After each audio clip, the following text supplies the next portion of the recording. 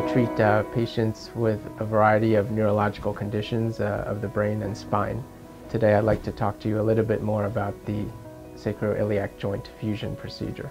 The uh, sacroiliac joint is an under-recognized uh, source of pain in the back and, and in the hip area. Some common causes for sacroiliac joint dysfunction could be arthritis in the area, or it actually occurs in up to 40% of patients who've had spinal fusion.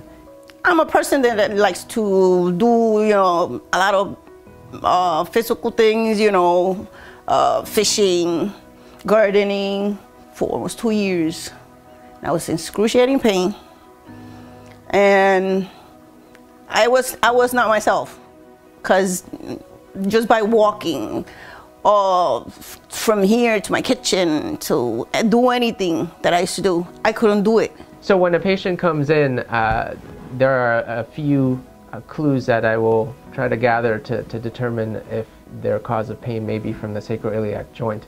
Perhaps the most important uh, factor is, is, the history that they give. Um, we discussed uh, pain over the area. If they have the right distribution of pain, that's, that's the start. The two factors that I personally uh, rely on the most to determine uh, SI joint pain is the Fortin finger test, which is when a patient can point to one spot where their pain is, is uh, localized. Um, and the, the, second major factor I use is a response to the uh, injection into the joint.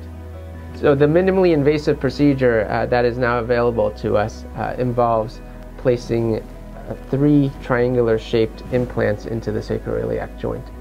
This can be done through a two to three centimeter incision along the hip and uh, the entire procedure is done minimally invasively um, under x-ray uh, guidance.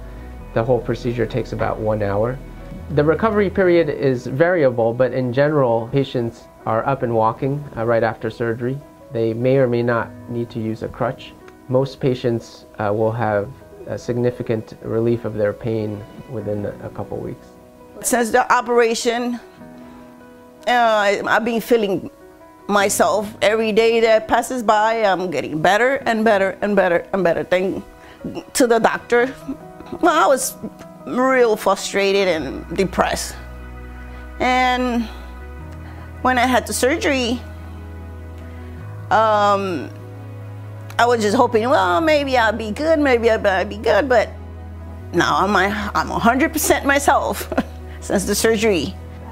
iFuse gave me my life back. If you are interested in a consultation, uh, feel free to call my office to set up a time and I would be happy to go over your imaging studies and uh, discuss whether sacroiliac joint fusion may be an option for you.